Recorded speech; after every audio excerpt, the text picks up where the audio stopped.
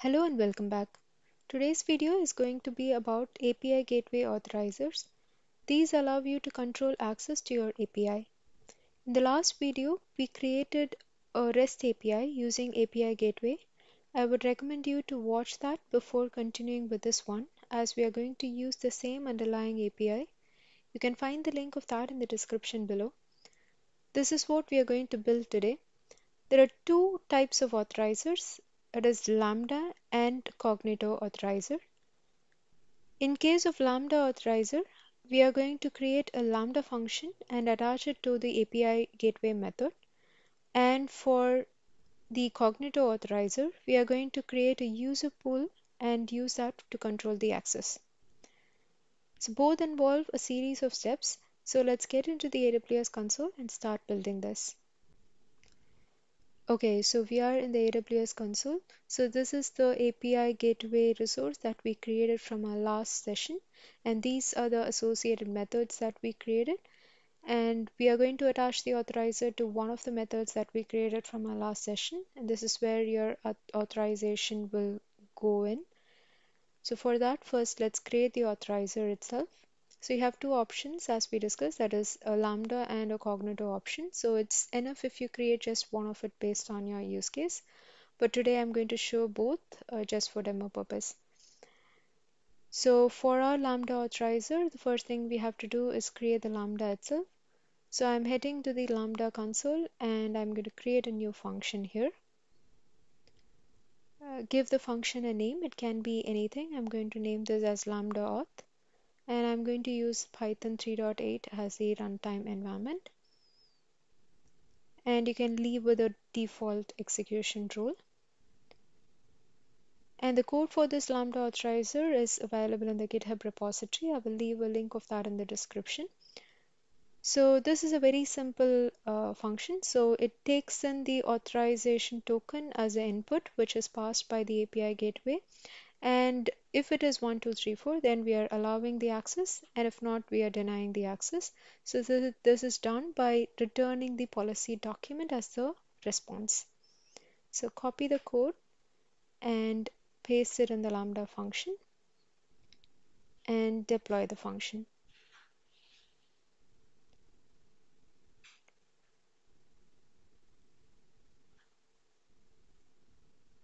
So once deployed, if you head back to the API Gateway console,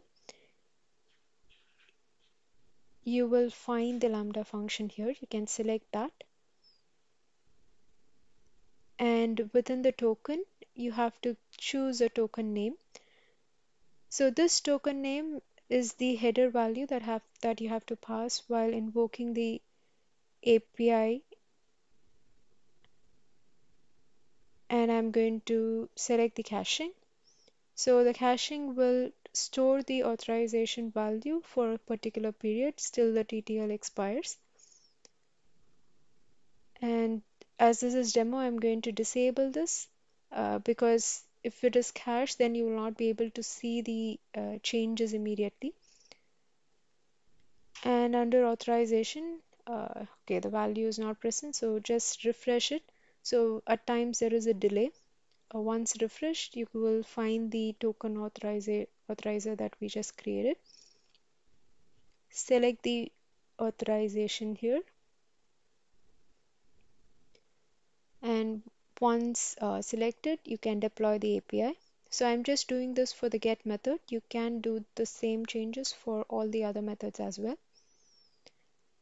And once deployed, if you head back to the Postman, we'll see that if we hit the API, you're getting unauthorized because we didn't mention anything in the headers. So now if you add the authorized uh, authorization token in the header, you should be able to access the API. So let's try that. So in the headers, I'm adding the authorization token uh, with the value 1234, which is the value which we allowed. So as you can see, we are able to access it and if we give a different value then it should deny our access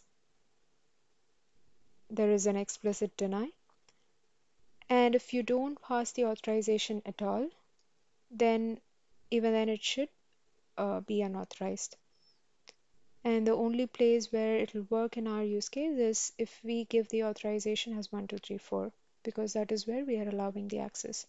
So this is how you set up a Lambda authorizer. Okay, moving on to second method, which is Cognito Authorizer. For that, first we have to create the user pool. So I'm heading to the Cognito console and going to start creating the user pool. So you have an option here to create a new user pool. So let's select that. And under authentication provider, you have two options, either to select the Cognito user pool as a provider type, or you can even go with a federated identity provider. For this, I'm going to select the Cognito user pool and email as a sign-in option. And here you even have an option to change the password policy for the users who are signing up. And I'm going to disable MFA and I'm pretty much going to go over the default values in most of the cases. And if you're interested to learn in detail about the user pool itself I have a separate video for that. I'll leave a link of that in the description. Please check that out. And here I'm going to go with sending email with Cognito and in the user pool name you can choose your own user pool name. I'm going to call this as authorizer user pool and I'm going to enable using Cognito hosted UI. If you're not using the default UI, you can set up your own UI as well. And once you enable the hosted UI, you will have an option to specify the domain Cognito domain. You can either use a, a Cognito owned domain or you can bring in your own custom domain in this case I'm going to use a Cognito uh, owned domain. I'm going to call this as Cognito authorizer. And uh, create an I'm going to create an app client as well. I'm going with the public client specify a name and generate a client secret which can be used with your backend server related integrations. And in the callback you can specify a URL for your callback once you sign in going to just call this example.com. If you have your own hosted application, you can specify that URL here. And, and under advanced setting, you will have options to change for the uh, token expiration time as well as the access token expiration time. I'm going to go with the default values. And within identity providers, I'm selecting just the Cognito user pool. And for the OAuth grant type, I'm selecting both authorization code grant as well as implicit grant. And here within the uh, ID Connect, let's go with the default scopes. And click on next. There is some problem. Okay, the problem is you can't have Cognito in the domain name. So I'm going to call this something else. Uh, let's try something else. Authorizer 123. Okay, that's available. If it's already taken or used by anyone else, we, we can't reuse the domain name as well. Alright, let's review all the options that we just selected and create the user pool.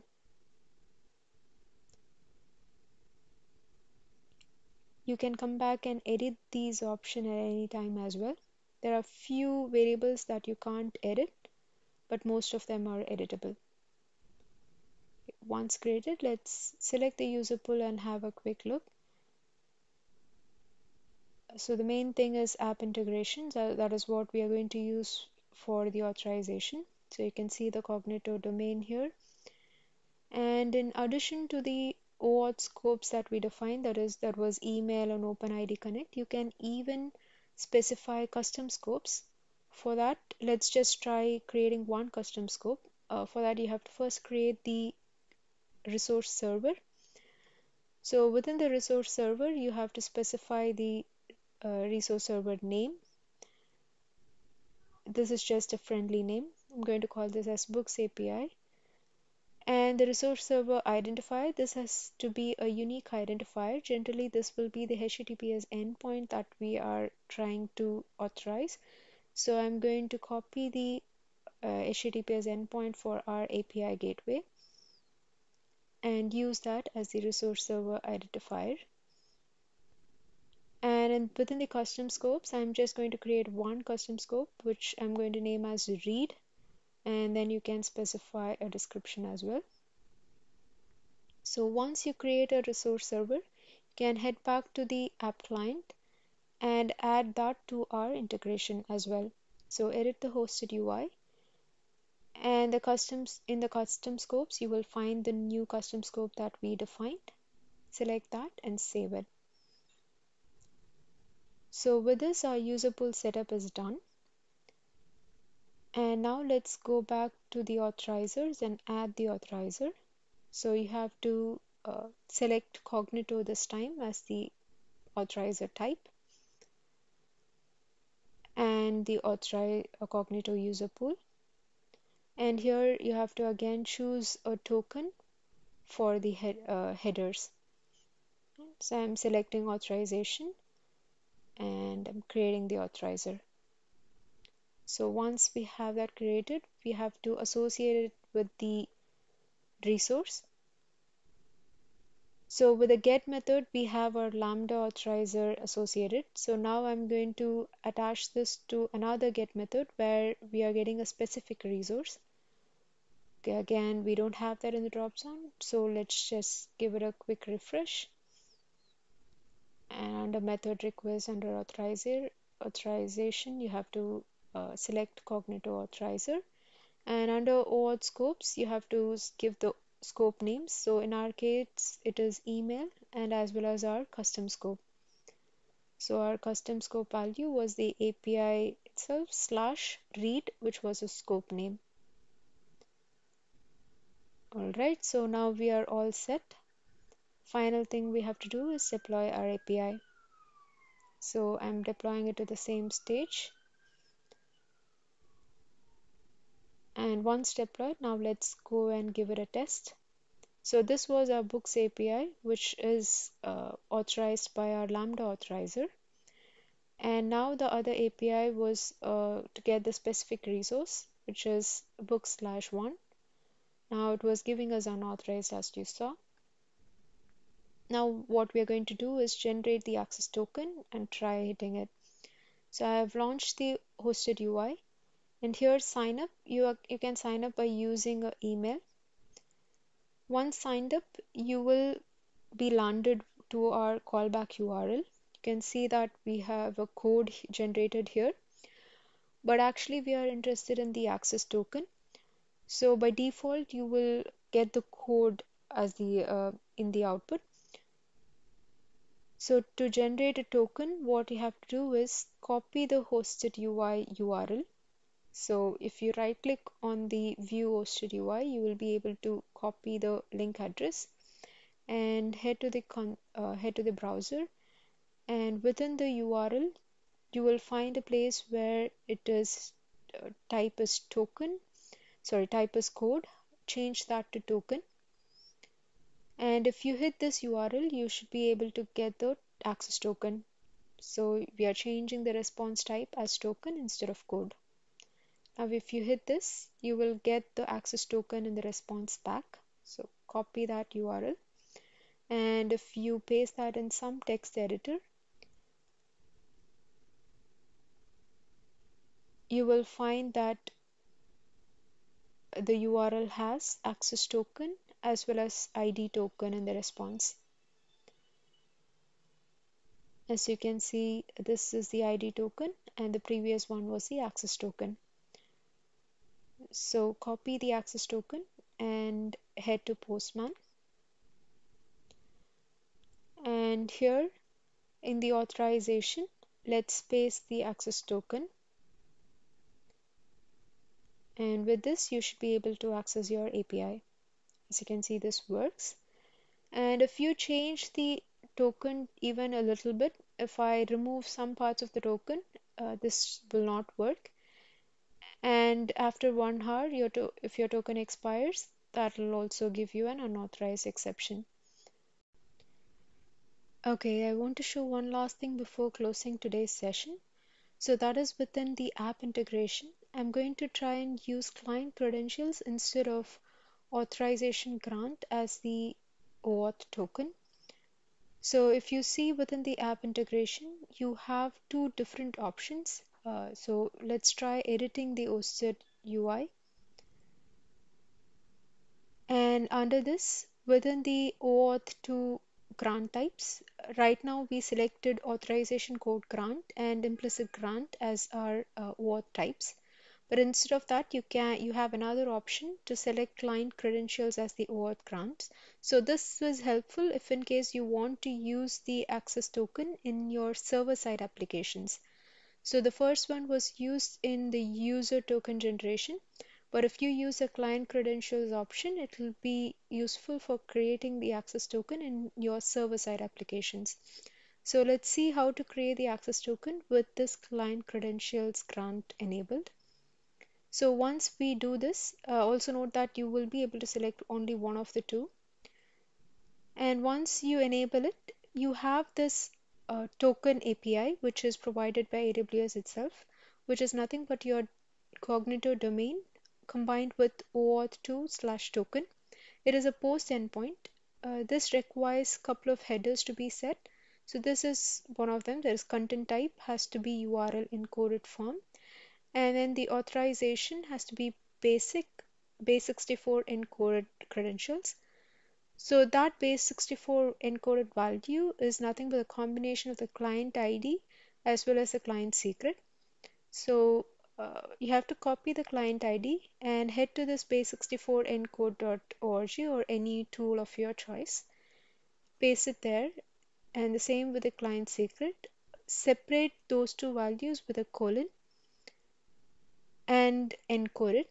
So this is the base64 encoded value. And we are going to use this as the authorization header.